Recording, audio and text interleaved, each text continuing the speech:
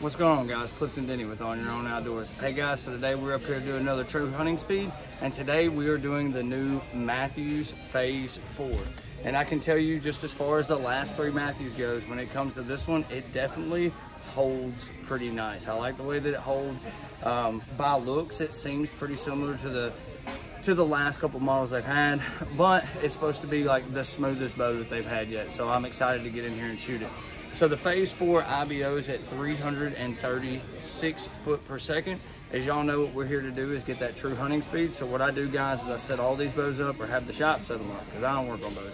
At a 28 inch draw, 65 pound pull, and then I take a gold tip 460 grain arrow. Now, I understand that some guys shoot more, some guys shoot lighter, some guys pull more, longer draw lengths. What we're here to do is get the average across the board and basically give you a difference in between that IBO hashtag clickbait that you see on the internet versus what you can actually expect out of the tree. Um, so what we're gonna do today is we take these back here into the shop. We take three shots. To the chrono, we average the three together and we call it the true hunting speed. Um, this bow is a 33 axle to axle. It weighs 4.6 pounds. So for a longer bow, it's actually not that heavy.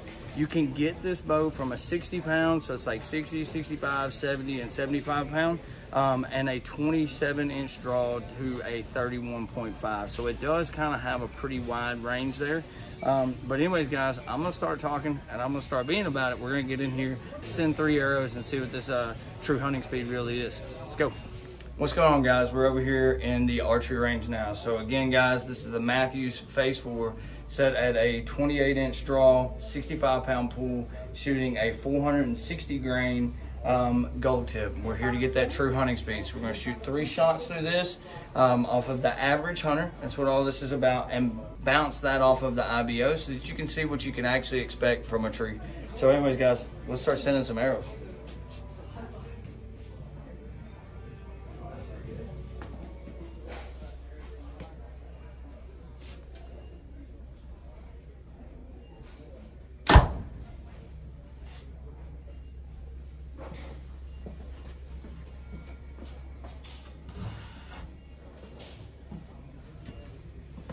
Shot number one is 281.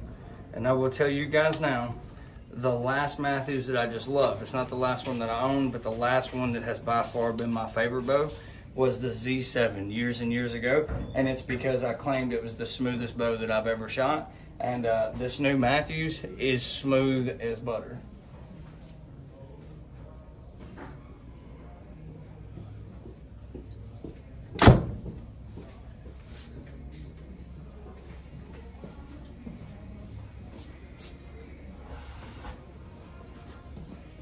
But when you get up to these high end bows, they absolutely are just, they're consistent. Consistency kills, right? So the first shot was 281 foot per second. Second shot was also 281 foot.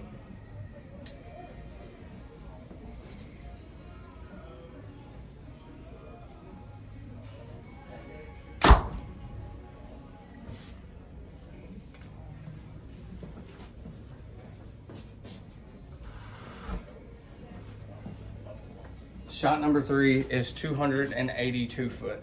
I will say that I think the hype is real whenever it comes to these new Matthews. It is probably the smoothest bow that Matthews has made, in my opinion, in the last three or four models.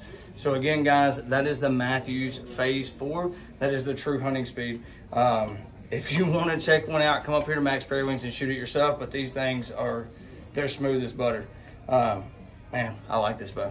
So anyways, guys, it was uh, 281, 281, and 282. So we're gonna call it 281 foot per second for that true hunting speed, which is absolutely cooking for this arrow setup with the draw length. Um, so anyways, and the poundage as well. I mean, that's a 65 pound pull bow shooting 280, over 280 foot per second. That is absolutely outstanding. So hey guys, that's all I got for y'all today.